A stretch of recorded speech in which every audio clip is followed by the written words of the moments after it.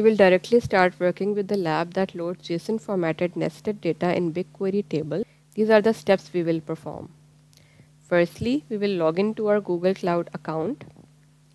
We will then create an empty dataset in BigQuery. We'll load the JSON data with nested fields. We will create a BigQuery table and upload JSON data into it. And after that, we will analyze our loaded data and perform some sample queries on our data. Now let's get started. Go to cloud.google.com. If you do not have a Google Cloud account, you need to click on get started for free. Since I have an account, I'll click on sign in. Type in your credentials.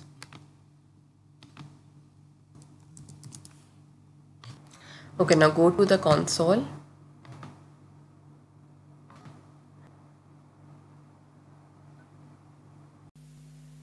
On the BigQuery page, click on the three vertical dots against the project name and then click on create dataset. The nested JSON data that I am using for this lab demonstration is a simple employee data having columns related to employee information. So I'll provide the dataset ID as EMP dataset. Now specify the location.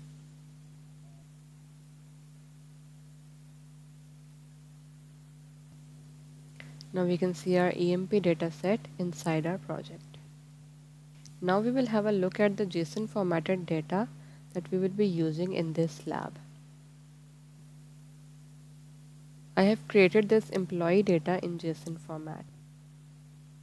It has ID and then the employee which is a nested field that contains name, salary, address.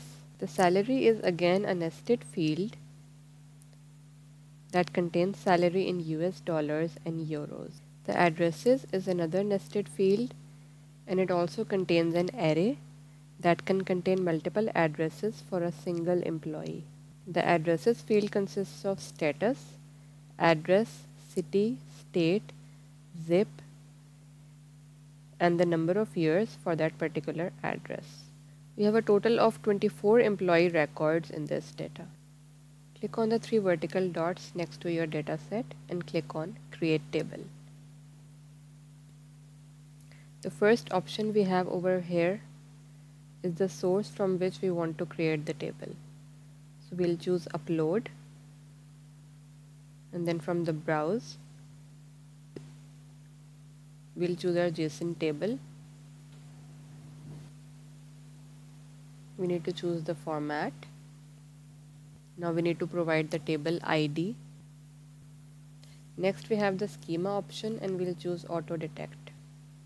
Click on create table.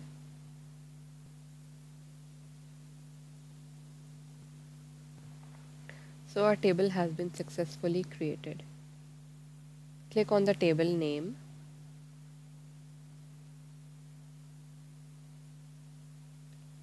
We can see the details of the table schema so there are two main columns which are ID and employee. The data type for the employee field is record. This is a data type specifically designed to store nested data within the field. So whenever we see a record data type, we know that it contains nested fields. The record data type is equivalent to a struct in the standard SQL which is a container for ordered fields. There is an arrow to the left of the employee field. So if we extend this, we can see the columns of age, address, salary and name. Age is of the integer type while the name is of the string data type. The address and salary columns are again the record. When we extend the address column, we can see the fields of zip, city, state, address, number of years and status. Notice that within a nested field, there can be different data types. For example, zip has an integer data type while state has a string data type. Also, we can see that the mode of the addresses field is repeated. This means that there can be multiple addresses for a single employee. Since this is a record type with repeated mode, we can call this an array of struct. The salary column within the employee struct is also a nested column. It contains salary both in dollars and euros. But we can see that the mode for this is not repeated which means that there cannot be multiple salaries for a single employee. Now let's look at the preview tab. Here we can see all the nested and unnested fields along with their data. But the nested fields are identified by the dot operator.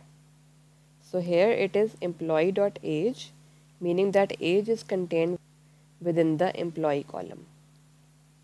Next we can see the employee.addresses.zip column which means that zip is contained in the addresses struct and the addresses is contained in the employee struct.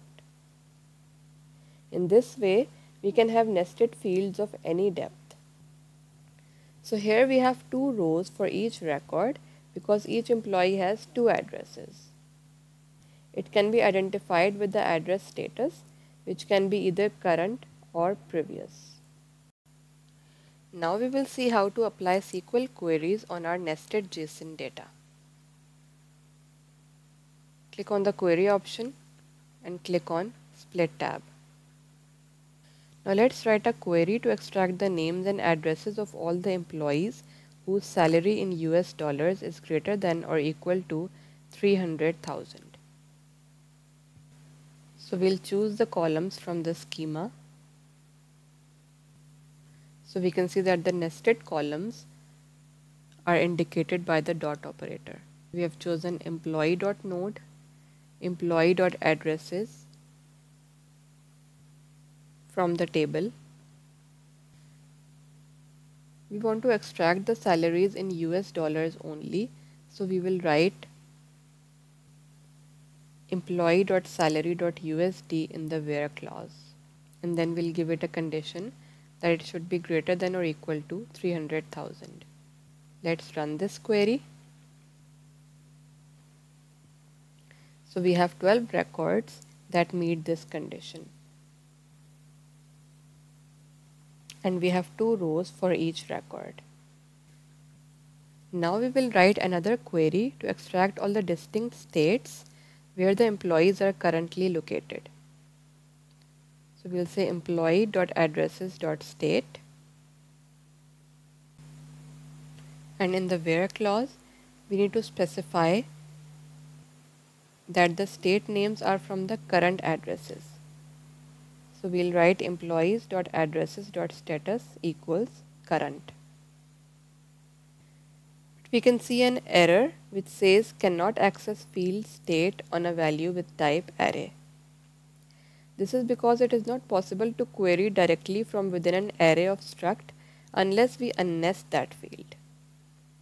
So for unnesting the addresses field, we'll write the unnest function after the table name and within the parenthesis we'll specify employee.addresses field.